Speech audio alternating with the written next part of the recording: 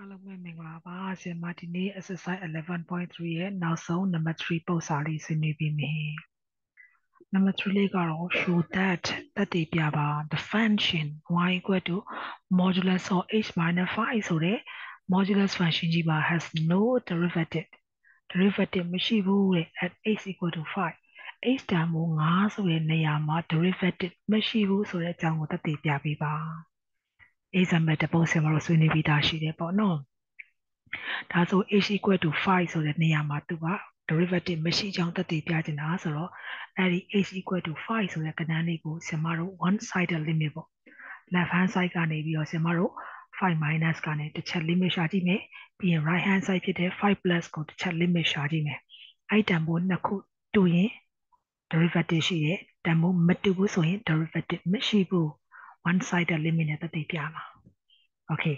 ဒါဆိုသဘောတရားသိပြီဆို function ကြီးကူးလိုက်ပြီ y equal to f4h ဒီ modulus of h minus 5ဒီ modulus function တွေဆိုရင်ရှေ့ကလည်းမင်းတို့တွက်ဖို့ပါတယ်စမတို့ကဒီလို one sided limit ဆိုတော့ညဘက်ချင်းကချင်းကပ်မယ်ဆိုရင်အပေါင်းဘက်ကချင်းကပ်တာဒါဆိုရင်ဒီကောင်ဒီရှေ့မှာအပေါင်းလက္ခဏာတွေတွက်မယ်ဘေးဘက်ချင်းကချင်းကပ်တာဆိုရင် h တန်ဖိုးရဲ့အနှုတ်ဘက်ကနေချင်းကပ်တာဒါဆိုရင်ဒီတန်ဖိုးကြီးဘာလဲတွက်မလို့ဆိုတော့အနှုတ်နဲ့တွက်မယ်ဆိုတဲ့ဟာလေးကို ကျမဒါလေးအမြဲရေးပြီးနေကြအပြင်တော့ကျမတို့ညာဘက်ချမ်း right hand side ကနေပြီးတော့ချင်းကတ်တဲ့5 plus ကနေချင်းကတ်ရင် h minus 5ဆိုတဲ့ပုံသဏ္ဍာန်နဲ့တွက်မယ်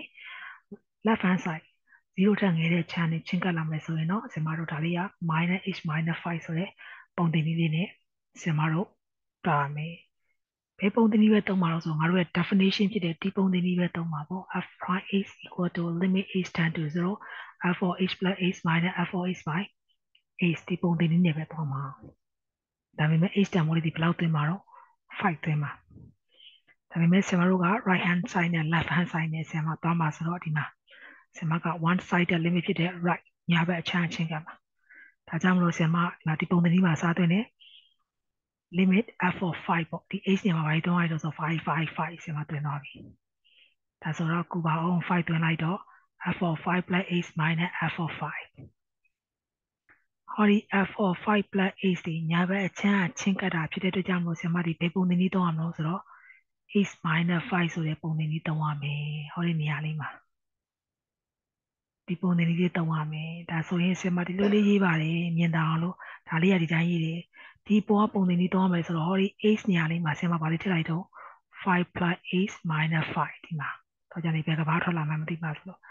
f of 5ဆိုရင်5 minus 5 ရပြီနော်ညာဘက်ချင်းအချင်းကတ်တယ်ဆိုရင်ဆရာမဒီပုံသင်နည်းလေးသုံးမယ်လို့ပြောထားတယ်ဒါကြောင့်မို့ဒီပုံသင်နည်းမှာပဲအစားသွင်းနေရပါ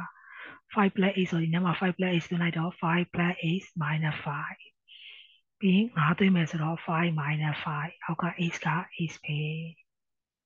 ကဲ9နဲ့9နဲ့ကျေသွားပြီရှင်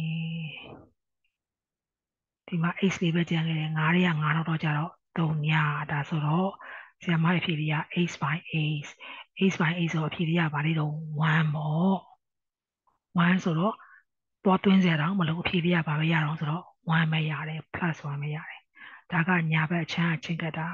နောက်တစ်ခါ0 minus ဘယ်ဘက်ချမ်းအချင်းကတ်ရအောင်ဘယ်ဘက်အချမ်းအချင်းကတ်ရင်ဆရာတို့ဘယ်ပုံသင်နည်းလေးသုံးပါတော့ခုနလေးပြောထားပြီးသားဆင်မတို့ဟောဒီအောက်ကပုံသင်နည်းလေးသုံးမယ်လို့ပြောထားပြီးသား okay ကြည့်ပါအောင်ဒီမှာ0 minus ဒီမှာဘယ်ဘက်ချမ်းအချင်းကတ်တာ f of 5ပဲ 5 plus h minus 5 f of 5 by h ကြည့်လိုက်ပါအောင်ဒီပုံသင်္ကန်းလေးမှာချင်းကပ်မှာဆိုတော့ရှေ့မှာ minus ရှိတယ်အထဲမှာကဘာလေးသွင်းမလို့5 plus h minus 5ဒီမှာပဲသွင်းမယ်ပြီးရင်5ဆိုတော့5 minus 5မယုံရင်ကြည့်လိုက်ဆင်မတင်ပြထားတယ်ဒီမှာရှေ့မှာ minus လေးရဒီတိုင်းပဲ5 plus h minus 5 5 minus 5ဟောဒီလက်သေးကွင်းမှာဟောဒီ5နဲ့5နဲ့ရကြီး9ရဲ9တော့3ည